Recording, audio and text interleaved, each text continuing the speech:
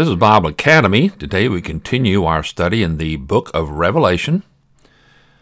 We are in chapter 6, verse 9, with a side study in Matthew 24, which we'll have at least one or two more lessons on before we continue on in Revelation. So, to get ready, let's make sure that we have confessed our known sins at the same time we're allowing His Spirit to control us. Let's pray.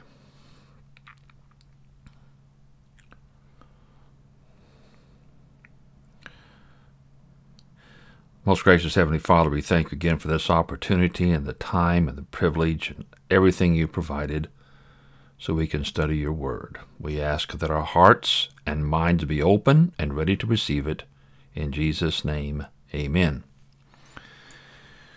In our last lesson, we started studying Matthew 24 to see if Jesus' opening words were his version of the first four seals in Revelation 6. At the same time, it is a good opportunity to study through this chapter of Matthew, or most of it, because it hits on some of the major topics we are going to see in Revelation. Jesus begins to answer two, question the, the, two questions the disciples ask regarding Christ's coming back, his second coming, and the end of the age. They ask when it would happen, and what would be the sign of your coming, and of the end of the age. Now, rather than read through 14 verses, I'm going to take a little bit different approach here and show you a uh, outline,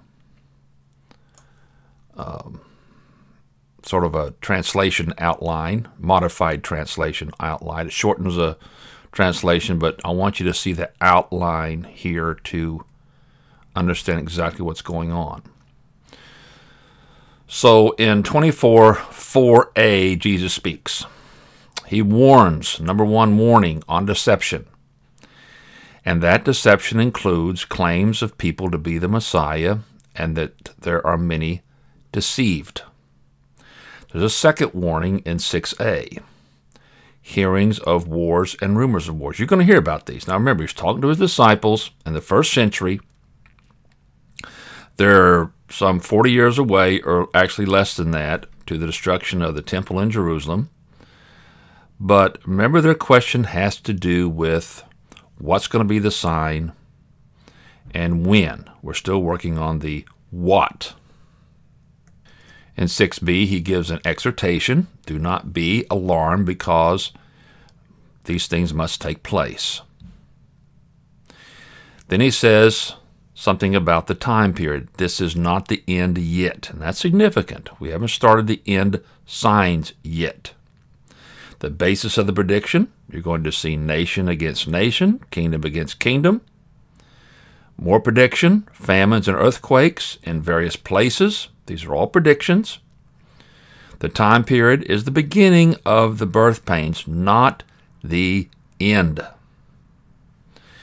Warning number three, another prediction. They will deliver you up to tribulation, and they will kill you, hated by all nations. Warning number four prediction many will fall away. Another prediction betray one another and hate one another. That will be going on as well. Another prediction many false prophets who deceive many. Notice how much material here is dedicated to don't be deceived.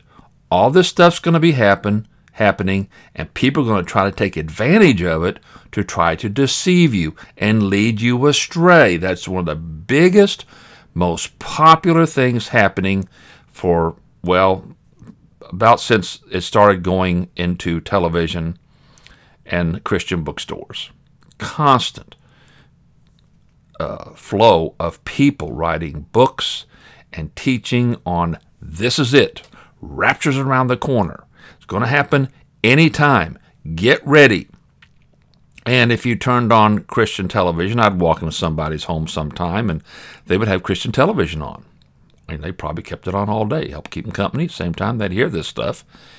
And they get into prophetic stuff. That gets everybody's attention. People get excited about it. But these people keep saying things that are just wrong. Now, I understand, you got to remember the circumstances. Prophecy was just getting popular, it attracted audiences. People were sitting there in awe, hearing about the next thing that's going to happen.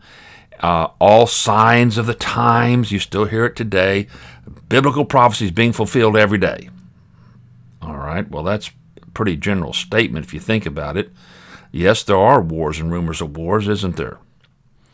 But I don't think that's what these people are talking about. And there's famines and there's earthquakes, and that is biblical prophecy being fulfilled every day. But it's not a sign of the end. And that's where people get confused. It's not a sign of the end.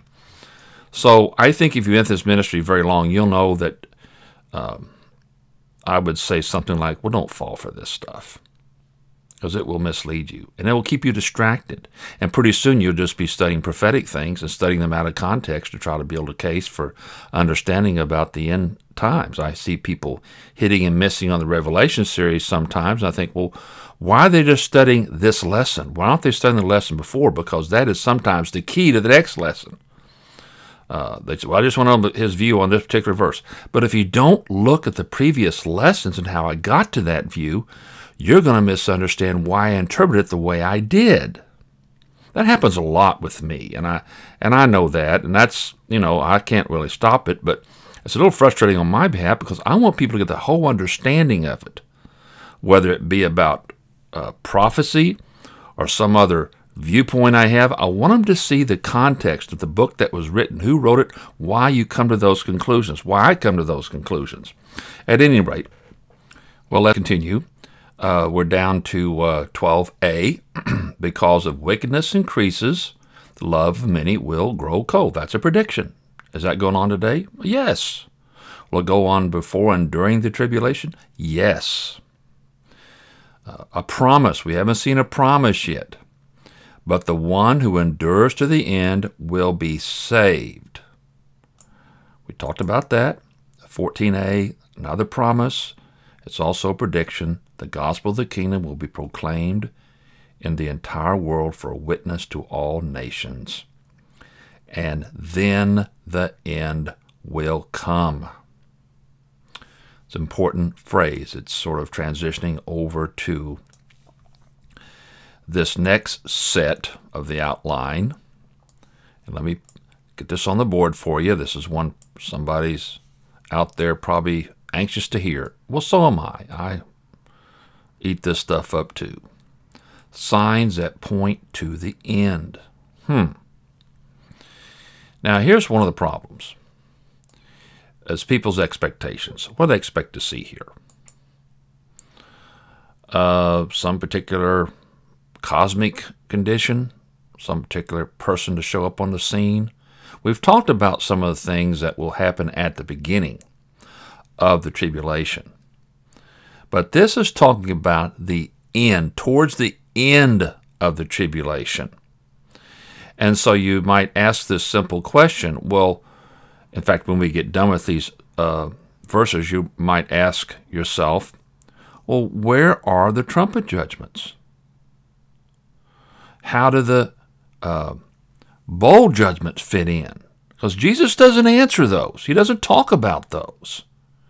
He's answering two questions. And that's what you got to keep in mind. He's not giving an outline of prophecy or or a brief survey of prophecy. He's answering two questions so his disciples as well as us will get the important answers. And remember what they are. What's the sign before the end and when? Right now we're still working on the Second question, actually, what's the signs? He hasn't got to the signs yet. He's got to preliminary things are going to happen, which has happened in history. I really want you to get this down and get a framework in your mind for this so you can continually discern because when when it really gets hot, if you just take that term kind of relative here, when it really gets interesting in history, and this happens in periods of history, and it'll certainly happen towards the uh, leading up to the tribulation period, things are going to happen. And people are going to start saying things. And you're going to go listen to some of these people, probably, hopefully with a head full of discernment. But don't be deceived. I will tell you, they'll mislead you. And they'll work their way and get your money too, by the way. And and uh, your life and your service. You got to be real careful. You serve the Lord. You give to those ministries where you grow. Uh, that's not only commanded, but that's expected of Christians to help Christians uh, in their ministries if you're being ministered and to and you can afford to help them. That's that simple. Now, afford is another relative term. What does that mean? Okay, well, now this is important. Now we're talking about signs that point to the end. Let me put that up there just to keep that as a reminder for a moment. Remember this that the end is Christ's actual coming and the consummation of the kingdom. That's when it all starts to fall together. He'll start to establish his kingdom. This involves the day of the Lord. And when I say the day of the Lord, now we're talking about the day of the Lord, not the previews of it throughout the Old Testament and other many, many passages in the Old Testament, especially when it came to judgment, occasionally blessing. Um, but understand, uh, when it comes to the day of the Lord, we're talking about several events. We'll see some of them uh, perhaps in our study today. Keep in mind, you just put, let's just put think of it this way there's a line down the middle, and on both sides, you have several related events. And that's all part of the day of the Lord. Now, again, Jesus in this Olivet Discourse is not giving a, to use a football analogy or even baseball or whatever, a play by play or major event after major event sequence of the tribulational period. Again, he's just answering these two questions.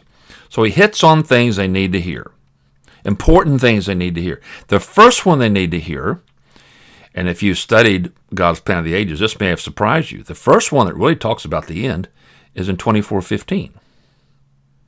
Now, we did say that the gospel would go out till the end, uh, but here's the first real sign people need to act on. They need to be always given the gospel. But here's the first sign people need to act on. And keep in mind who this was given to. Now, this get a little complicated because there are different fulfillments of the destruction of Jerusalem. But this is one of the things that happened at the middle of the tribulation. We've studied a lot on that if you've been with me.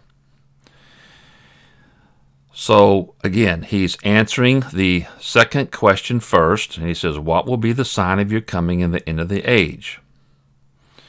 The first sign Jesus mentions to this Jewish audience who live in and around Jerusalem, perhaps unless they're coming in for some teaching, when he's on the Mount of Olives, and this is it. Therefore, when you see the abomination of desolation, which was spoken of through Daniel the prophet standing in the holy place, let the reader understand, then those who are in Judea must flee to the mountains. Now here's why I ask here's why I brought up this earlier. What happened to the other sealed judgments? Uh, what happened to the Antichrist being on the scene? Or the temple being built? Well, it hasn't been destroyed yet, so you can't hear him you wouldn't expect him to start talking about having it um, um, rebuilt if it hasn't been destroyed. So this is the first sign. Now, this is where it gets a little tricky. This is at least a double fulfillment. Now, what do I mean by this? Well, I'm going to attempt to draw a straight line here. Well, I went back to my tool. I didn't want to mess it up. It's just too hard sometime on this board. At any rate, let me uh, give you an idea of what's going on here. This is kind of an overview of the abomination of desolation as well as the destruction of the temple. Uh, Daniel talked about the abomination desolation. Jesus is going to refer back to that. Okay? Now, Daniel's prediction talked about Antiochus Epiphanes, 167 BC.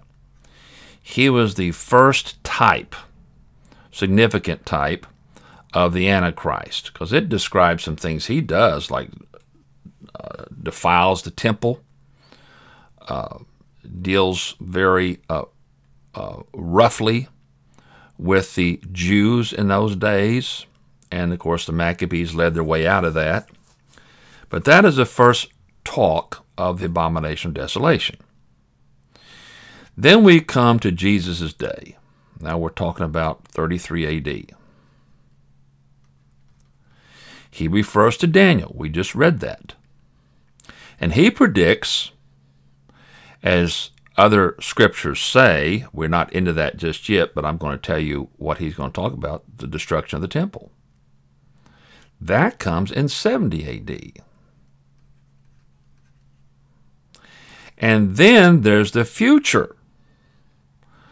The one in the distant future that is the final discussion about what happens to the temple. And this is where you have the real Antichrist.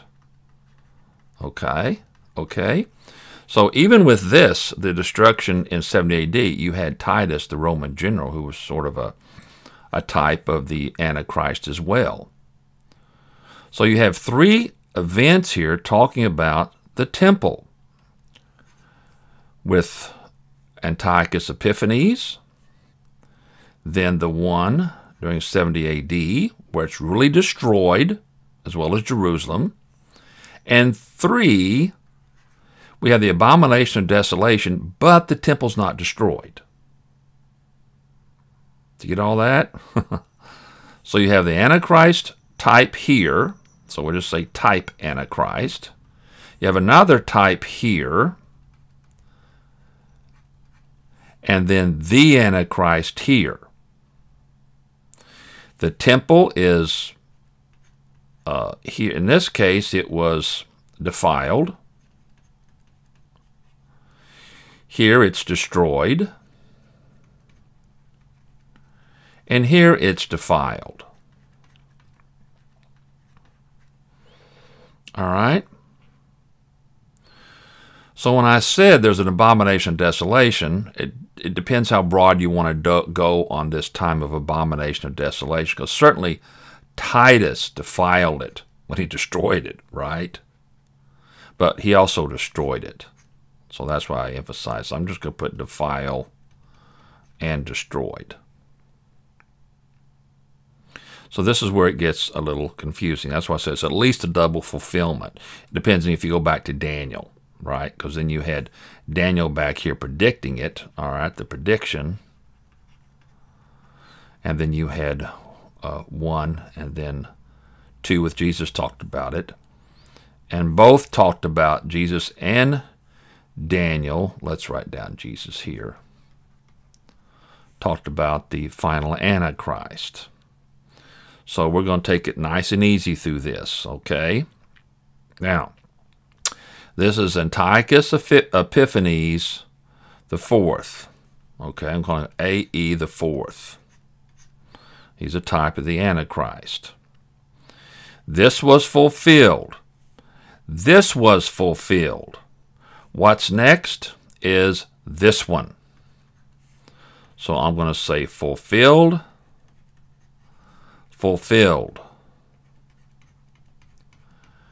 And this is what we're looking at now. So if you lived during Jesus' day and you heard this abomination desolation, well, it's interesting because you would have to see him as Titus, but he's not really the Antichrist, is he? But you also see the temple destroyed. That kind of messes up the final picture because you've got to have a temple. All right, I know this is something you have to kind of let sink in. Uh, so think about this, uh, sort it out in your own mind. Um, also, uh, this is called the far fulfillment. All right, when Jesus spoke of this one here, it's the near fulfillment.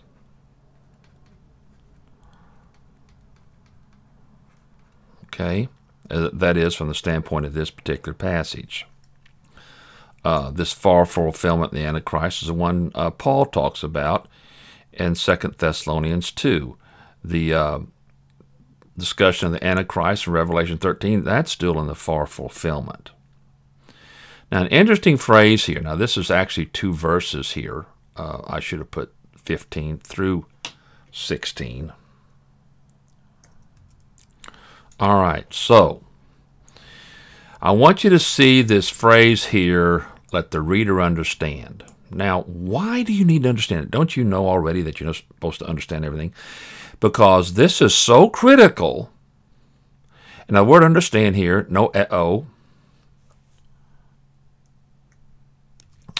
Let me just show that to you uh, here in a moment. No uh-oh. It means to perceive with the mind, to grasp or comprehend. So we're talking about serious. You need to get this. This is big. Now it's debated whether Jesus is saying this or John inserts this, let the reader understand. I have a tendency to think it's Jesus, though there's no way to know for sure here. Most of your um, translations well, I would say all of your translations I know of, they indicate either by these dashes or they might put it in a parenthesis. I think the Net Bible put it in a parenthesis. The other translations I saw puts these dashes. So it's set off, it's like a break in the thought. So let me just read it. Therefore, when you see the abomination of desolation, which was spoken of through Daniel the prophet standing in the holy place, let the reader understand. Then those who are in Judea must flee to the mountains. So, this is something you need to know and understand. When you see that abomination of desolation, you need to get to the mountains. Now, here's where it kind of blows people's mind because they never really think about this. This is to the Jews in Israel. Now, if you happen to be over in Israel at the time and you're visiting, yeah, you better flee to the mountains. But this isn't directed to the Christian church, except those who are Christian Jews uh, as part of the church over in uh, Judea and Jerusalem, that area, that's the region, is Judea. Jerusalem's the city. So keep that in mind. It's not that you shouldn't flee, don't misunderstand. But this is going to be the launch of the anti Christian movement, the really big one, by the Antichrist himself. Now, we'll get into that later. So keep in mind who the audience is, the time in which it was written. Uh, I'm not sure how much of this we'll even be aware of when it does happen if you're still alive in a place like the United States or England or something else. Who knows? Remember, uh, if you remember the seals, we went through a bunch of destruction already. Uh, in fact, we went through basically the first half of the tribulation. Who knows whether we'll be able to even see this stuff on television or radio or even shortwave? I don't know. I never hear anybody talk about this, but if you have these kind of disasters going on worldwide, uh, you're going to have a real problem probably having electricity. And that presents all sorts of problems with people trying to stay warm and functional and so on. But of course, that's the unknown factor that need, people need to keep in mind. So, what we see here is an urgency, a warning, an urgency for people to get out. In fact, they need to get out fast and now. So, Jesus gives some illustrations. Whoever's on the housetop must not go down to get things out of his house. Don't you don't even have time to get your go bag your go bag. All right? Uh, just go. Now, in those days, people lived on their housetops. That was sort of their living room. And they'd have steps on the inside or outside of their house to go up and down it. If you're on the roof, don't go back down. Don't go back into the house. Get down and get out of there. Now, the illustration whoever's in the field must not turn back to get his cloak. Now, this would be a worker in the field. It could be, you know, the Christian the believer. Uh, don't even go back in and try to get your cloak. Just go. Now you say, yeah, but I might need something that I just to stay alive. I need to grab my pills. No, go. Go. So the command is to leave your possessions or it could cost you your life. Now, there's a reason for this because the armies are closing in and you need to get out the path you have as the Lord will make it, and it's it's got a window on it, so you've got to get through while there's an opportunity. Now, go back to our chart for a moment. See if it comes down okay. All right. This command would apply to both of these prophecies, both the near here and the far. Because when they close in on Jerusalem during 70 AD, you need to get out of there. It describes it as the armies surrounding Jerusalem in Luke 21:20. Luke doesn't even mention the abomination of desolation being set up.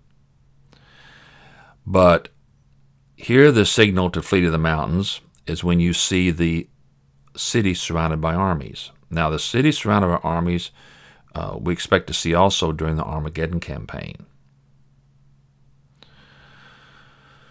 Luke's description fits more with the near fulfillment in 70 AD. So when the Romans are about to lay siege, you get out. You'll have a window of opportunity to get out. You get out. Uh, the conditions for some people is going to be difficult.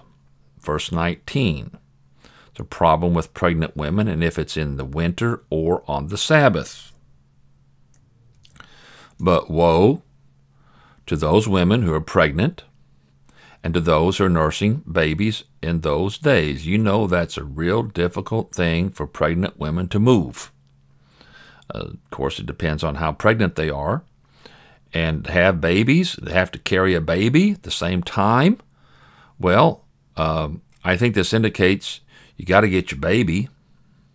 No one really discusses about what the baby's in the house. Well, you better go back and get it. But generally, if you're nursing, you would have the baby near you. So we're not talking about exceptions here. The other thing, and this is kind of a difficult one to explain, moreover, pray that your flight will not be in the winter. Now, that's not hard to explain. That's not what I mean, but it's the Sabbath here. The winter time, as you know, if you've lived around mountains and streams, that's when the snow gets up there and starts to melt, and the swollen streams, and, and uh, over there it's the Jordan River. Also, there's a scarcity of food out in the trees because it's winter time. You don't can't grab an apple, by an apple orchard, or uh, figs if they're not there, of course. Now, the thing about the Sabbath is when this was uh, preached by Jesus, they still are living under the law. All right? So you would uh, understand that this is still under the law. Now, the law will start to be phased out once the Holy Spirit comes in Acts 2. So we're kind of in a transition period here. But you want to make sure you cover the Sabbath just in case uh, people haven't transitioned out of that because the Sabbath would limit people's travels. Now, there were exceptions if it was emergency. So some might ask, well, why would they do that if, if there were exceptions? Well, I guess it depends on uh, the word getting around and things like that. But that's not something you really need to fully understand. The point is that you don't want any hindrances to your getting out of there. So as soon as that abomination is set up, you want to be praying for a clear path. The point is that one does not want anything slowing him down getting out of the area. And there's an explanation verse. The word for hints us, gives us that hint. For then there will be a great tribulation, such has not occurred since the beginning of the world until now, nor ever will again. Now, people have taken this great tribulation as a more technical term. It's not the tribulation, the seven year period, but the great tribulation, when things really start to get bad in the middle of the tribulation, so the three and a half year period. All right? Now, this entire period, after the abomination goes up, it's the Great Tribulation. Let's look at the word tribulation again. I've brought it up a few times. The word is kind of fun to say thlipsis. Thlipsis. It means affliction, distress. Um, it happens during both periods of destruction, whether it be the near one uh, the, the uh, near fulfillment or the far fulfillment. And this is in agreement with Daniel, what Daniel talked about. Listen to him in 12.1b. And there will be a, a time of distress which has never occurred since there was a nation until that time. And this is talking about the final judgment. This is the far fulfillment. Verse 22 And if those days had not been cut short, no life would have been seized, excuse me, been saved, but for the sake of the elect, those days will be cut short. Now, this is interesting because I have for a long time misunderstood this verse too. Because if it says it's been cut short, does that mean it's less than seven years? That's not what this is saying. It's saying that if this time had just kept going like it was, everyone would be wiped out. No one had been physically delivered. That's what the saved means. But it is stopped. Why? But for the sake of the elect, those days will be cut short. Now, a couple of words here I want us to look at. First word I want us to look at is the word life. It's a word we don't see too often uh, in this context, but it is sarx. Now, sarx is the word for flesh. Uh, flesh and blood, if you want to attach blood to it. That's a human being. No human would have been delivered if this period had not been stopped. So it's not saying that the seven year tribulation is cut short, but the tribulation stops, has a stopping point. So the expression for saying that if the tribulation had continued, then no one would survive. That's what it means. It's an expression for saying that if the tribulation had continued, then no one would survive. The rate of death was tremendous. And this tells you how widespread and deadly this period is. Believers have to be left to be called up with the trumpet in 2431, which we'll see later. Now we get into more warnings about false messiahs and prophets toward the end of the period as well. So again, during the tribulation, you're still going to be seeing deception and false prophets. That would be false teachers. Some will claim to be prophets, and people claiming to be uh, the Christ. Uh, keep in mind that not everybody has the communications that we have now in in the future, it may even be less than what we have today. But people are going to say, there's the Messiah, here's the Messiah, and the false prophets will be all over the place. Uh, and Jesus gives more warning. Here's some more of the stuff that's going to go on. Verse 23 Then if anyone says to you, Behold, here is the Christ, or He's over there, do not believe him. Now you might be thinking, oh, wait a minute, how can any Christian has any knowledge of the second coming fall for that? I don't know. I just think it's going to be religious people who think they know about Christ but never touch their Bible or go to a Bible study and they sit in church and hear the, you know, the the uh, encouraging messages without hearing really strong teaching in the Word, and they're easily deceived. Verse 24. Look at us. Look at this. For false messiahs and false prophets will appear and perform, listen to this one, great signs and wonders to deceive, if possible, even the elect. Folks, these I understand are going to be demonically powered individuals who will perform uh, incredible supernatural signs, uh, wonders to attract people. Now, why would they do to do that? Not only to attract people, but to convince them they're from God. Well, they're the ones to follow. And of course, they're going to be pointing people to the Antichrist, who will be claiming to be Christ. And that's another story in itself. But this is people taking advantage of suffering and terrible conditions that's been going on. People will be looking for saviors and some message of hope. Some people be claiming they know where the Messiah is. Jesus warns, don't believe it. Don't believe it. Now, we've seen these charlatans throughout history, history of the church, and we see them towards the end when Christ is going to return. They will use their trickery and powers to attempt to mislead even believers. Um, there are still people around who will try to lead you astray. The false prophet, the big one, is going to be the second beast. He'll be supporting the uh, Antichrist himself, the first beast. And he will have a lot of success in doing this. Revelation 13, 13 to 14, 16, 13 through 14, and 19, 20. That's the false prophet. Jesus says, Behold, I have told you ahead of time. So you already know this. This would speak to us as well.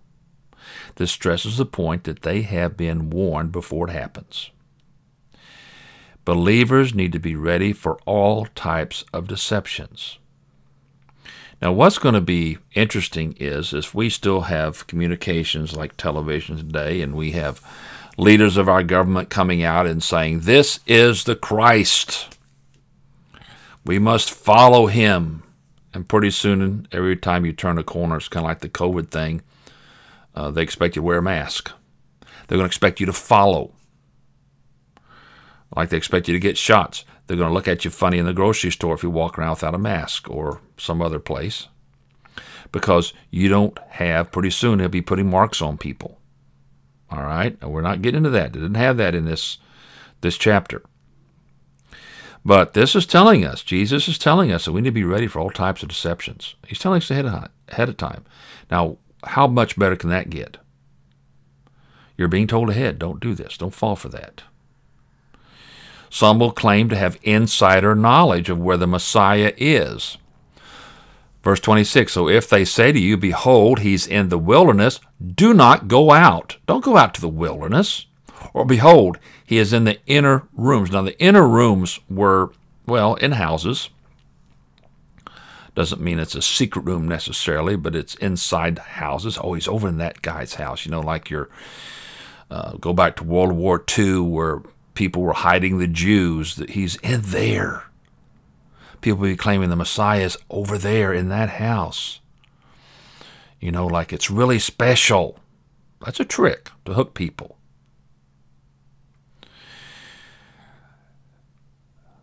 Either if he's out in the open or in an inner room, don't fall for it. Verse 27 For just as the lightning comes from the east and flashes as far as the west, so will the coming of the Son of Man be. Folks, if there's one verse here that you need to understand when it comes to second coming, it's going to be very clear and very obvious. The image here is from one end of the sky to the other. His coming will be visible. Make no mistake about it. Get this in your head now because this is the way he's coming. It's not going to come secretly. He's not going to come a little at a time. He's not going to start the word getting out um, like John the Baptist did for him. No, he's going to come and it's going to be seen everywhere. It'll be sudden and it'll be visible to all. There's nothing hidden or secret about it. So now Jesus is answering the question of what will be the sign of his coming. It will be a worldwide and visible event. Remember that. So, was there a sign before that? Later, it's illustrated by the days of Noah, and they were all unaware until the flood came. That'll be the general population's understanding. They won't know he's coming, they don't believe it till he shows up. Then we have this rather unusual verse that people struggle with. Verse 28 Where the corpse, wherever the corpse is, there the vultures will gather. Now, there's, as usual, on these difficult verses, there's a number of viewpoints. But a couple of the best views on this, let me give them to you. This pictures the return of Christ. This follows the thought in the previous one of his visibility As the visible vultures indicate where the dead bodies lie, so Christ will be visible, indicating his arrival. The other view, which I adopted when I taught through Luke, has to do with the large number of bodies that will draw the vultures in the area. So this is a sign of judgment, which comes when he arrives in Armageddon. Now, when Jesus shows up, this is one of those several events uh, around the day of the Lord. One of them is going to be judgment. It's going to be going through the Armageddon campaign, and he'll be slaughtering people uh, by the millions, I would say, maybe even bigger than that, because you have the major armies of the world gathered there. Verse 29 But immediately after the tribulation of those days, the sun will be darkened, the moon will not give its light, and the stars will fall from the sky, and the powers of the heavens will be shaken. So these are some of the final uh, things that happen right before Jesus descends from heaven into, in, into our sky. You're going to see the sun get darkened. The moon will not give us light. Stars will fall from the sky. Let's talk about this. Let's break it down. So the first line, don't miss that, but immediately after the tribulation, we're at the end of the seven years, basically. Cosmic signs of the Lord's return. The sun will be darkened. The moon will not give its light, and the stars will fall from the sky. Let's look at a few other verses that predicted this in the Old Testament. These are pretty clear that these have to do with the day of the Lord because they say so. Isaiah 13:9 See the day of the Lord is coming a cruel day with wrath and fierce anger to make the land desolate and destroy the sinners within it.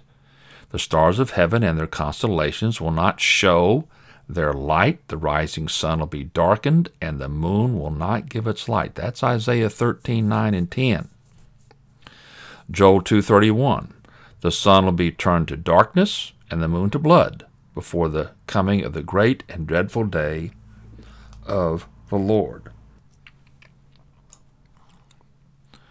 Some more from Amos and Zephaniah, Amos 5:20. Will not the day of the Lord be darkness, not light, pitch dark without a ray of brightness? Zephaniah 1:15. That day will be a day of wrath, a day of distress and anguish, a day of trouble and ruin, a day of darkness and gloom, a day of clouds and blackness. Now, you may ask what I think is kind of an obvious question, though I don't know if people think about it. I don't always think about it. We just saw this coming like lightning, and now it's dark. How does that work? Well, to put this together, I think you have darkness shortly before he shows up. You can see how that works out in the sequence events later on. But that's one of the significant signs. Everything goes dark. Everything goes dark. They say, yeah, but won't they have light bulbs and stuff? I don't know. I doubt it. The sixth seal coming up in our study anticipates and previews, don't miss that word, previews this greater day of the Lord with its own period of cosmic disturbances. So you have kind of a a mini, that is M-I-N-I, uh,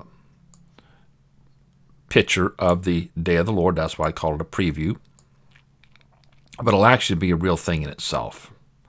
But it'll picture what's coming that's going to be worse. Let me just read that. We haven't got there yet in our revelation, but it says, And I looked when he opened the sixth seal, and there was a great earthquake, and the sun became black as sackcloth made of hair. The full moon became like blood. The last line we see here, and the powers of the heavens will be shaken. Now, some say the powers of the heavens are the demonic cosmic forces. Uh, sometimes, in some context, context, that's true, but that's not in this context. This really has to do with the cosmic forces the natural forces that keep the heavenly bodies in line being shaken. And this signifies that God is causing something big to happen. in history. Haggai 2.6. Sometimes it's used figurative, like in Haggai 2.21. Luke, go to the parallel on him. Let's look at a couple of his verses. Luke 21, 25, and 26. Read. And there will be signs in the sun and moon and stars, and on the earth nations will be in distress, anxious over the roaring of the sea and the surging waves. 26. People fainting from fear and from the expectation of what is coming on the world, for the powers of the heavens will be shaken. So there is some major catastrophic things happening for real if you see this kind of reaction of people fainting from fear. Look at that last verse again. No, I'm actually going to put them both up there again because this is a pretty serious, catastrophic period. One more time. And there will be signs in the sun and moon and stars, and on the earth nations will be in distress. They think they've had it. Anxious over the roaring of the sea. We're probably talking about huge, huge waves and the surging waves. People fainting from fear, from the expectation of what is coming on the world. Uh, often watching the weather here in uh, uh, where we live now, south of Houston, but not as far south as Galveston. We used to live a lot closer to Galveston, but they would show on the weather uh, the uh, Galveston Bay down there, what the waves were doing. Sometimes, if there was a hurricane out in the water, you'd see big waves. Other time, it's pretty calm, just regular little waves. But these are big enough to just scare the wits out of people because they know what's coming on the world. Notice, and from expectation of what is coming on the world, for the powers of the heavens will be shaken. Something is really off. All right? So these major catastrophic things are happening for real if these kind of reactions are being seen among the people on the earth. It's a terrifying time. Now, as informed Christians, we know that Christ is about to appear. In fact, these are signs that are heralding, in a sense, they're announcing the coming of Christ. But is there one single sign visible in the sky right before Christ ascends to the sky? Verse 30. So, verse 30 says, And then the sign of the Son of the Man will appear in the sky, and then all the tribes of the earth will mourn, and they will see the Son of Man coming on the clouds of the sky with power and great glory. The word then, second word in the verse, tells us that this is something separate than what we've seen already. And that the sign uh, is not Christ's return itself. That's one of the views. People say, well, that's his return. His, I don't think that's the case. I think this word then tells us that there's something else going to come afterwards that what we've already seen. Now, let me give you a hint of what this means. Matthew mentions both sign and trumpet in this and the next verse. Signs frequently went with trumpet sounds in the ancient world. The battle standard or ensign being revealed or unfurled often went with the trumpet sound. It served as a signal. So, a banner or battle standard would be unfolded. Uh, Jesus, it may be at the time in which Jesus more or less decides to charge and go after the enemy armies surrounding Jerusalem. So there may be a battle standard unfurled and the trumpet sound. Um, there's sign insignias also associated with the eschatological gathering of the people of God. And we'll see that shortly. Um, look at verse 31, Isaiah 11, 12, 18, 3, 49, 22, Jeremiah 421, 61, 51, 27. Sometimes I read those too fast if you want to write them down or look them up. Notice the second thing that happens. So you have this sign of the Son of Man will appear in the sky, and then all the tribes of the earth will mourn. Now, there's two reasons people will be mourning at this time. Some as a result of the great judgments being poured out on them, and if they survived, and Christ is arriving, they know that worse is coming, including judgment. Revelation 19 11 through 21.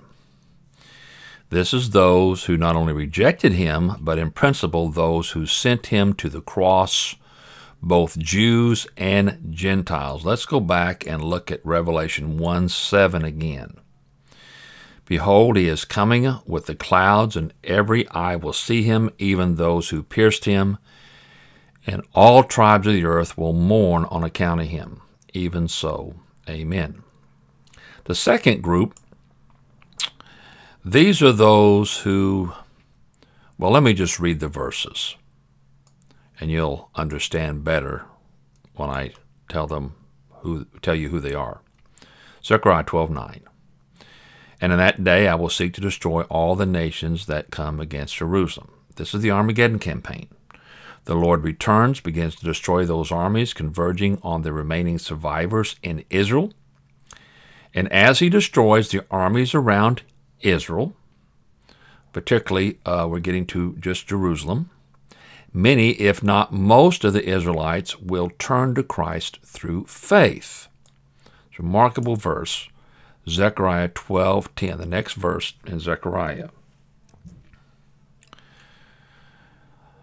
I will pour out on the house of David, on the inhabitants of Jerusalem, the spirit of grace and of supplication, and they will look to me whom they have pierced, and they will mourn for him as one mourns for an only son, and they will weep bitterly over him like the bitter weeping over a firstborn.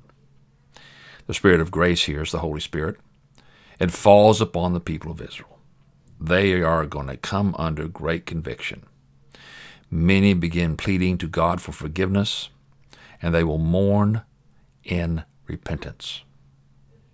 A large majority of Jews will turn in repentance during these moments and realize that Jesus truly is the Messiah and believe in him. This is what Paul at least in part referred to when he says all Israel be saved in Romans 11:26. Now let's look at the last phrase here. Starts with and, okay, and they will see the Son of Man coming on the clouds of the sky with power and great glory. The Son of Man here, to put it in the Old Testament words, is the Lord, capital letters, L O R D, Yahweh of the Old Testament. The clouds of the sky accompanying him will recall the Shekinah glory that led the Israelites in the desert. He's also coming with power and great glory. This is manifest in his arrival and is about to be seen in significant action.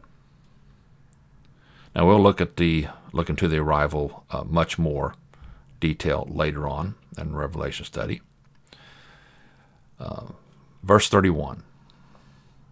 And he will send forth his angels with a loud trumpet blast. They will gather his elect from the four winds from one end of the sky to the other. This is an interesting verse. They will gather the elect, another word for believers. From the four winds, from one end of the sky to the other, that's the idea.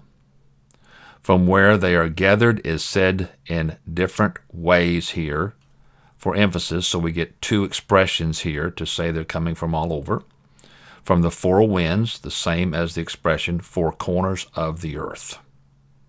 There also says from one end of the sky to the other. Now, this expression, you got to keep in mind what we studied earlier back in verse 21 and uh, lesson 21. The expression is from the viewpoint of how the ancients viewed the earth and the sky at the time, that there was a solid dome above the sky that held back the waters. So it is like saying, gather from within the dome, from one end of the sky to the other.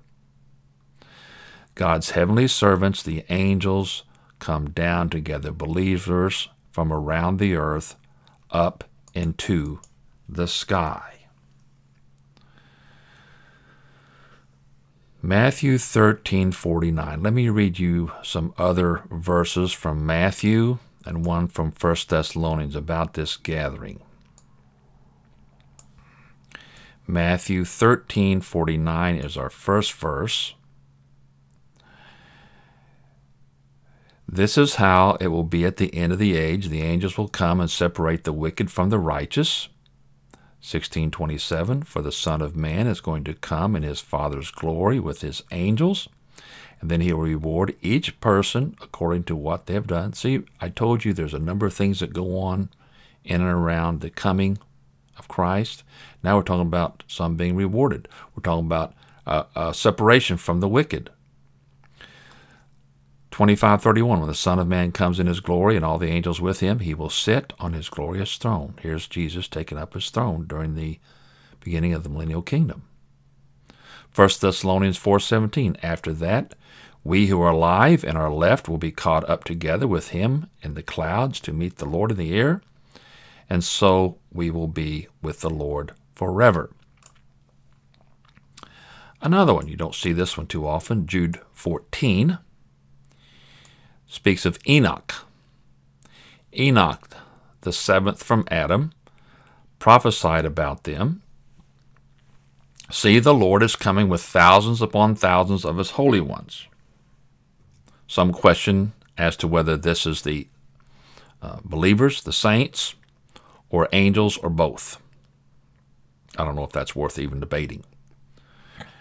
There's going to be a lot of people there and a lot of angels, those who are holy are actually going to get their resurrection bodies. Some are going to be transformed from earth itself. They won't be with him, but they'll be coming up right after uh, Jesus comes down. Well, this ends Christ's answer to the first question of the signs of his coming. Okay. Let me show you that question or that set of questions one more time and we'll close. That's back in verse 3. And as he was sitting on the Mount of Olives, the disciples came to him privately, saying, Tell us, when will these things happen, and what will be the sign of your coming and the end of the age? So we answered the second question first about the sign, and next time we will look at the first question when will these things happen? Let's pray. Well, Heavenly Father, we thank you again for this great opportunity we've had today to study your word. We've heard many details, exciting things to happen in the future. Help us be ready, prepared in every way. Continue to give that gospel unto the end. We ask these things in Jesus' name. Amen.